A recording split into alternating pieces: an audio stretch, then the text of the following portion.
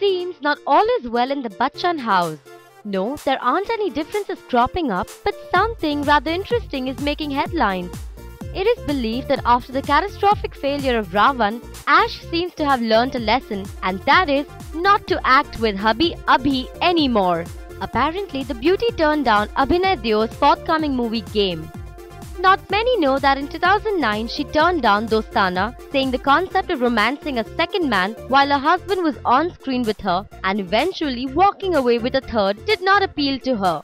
Later, she refused Khele Hum Ji Jaan and now it's game. Vipul Shah's untitled project goes on flop this year, but it doesn't have a leading lady.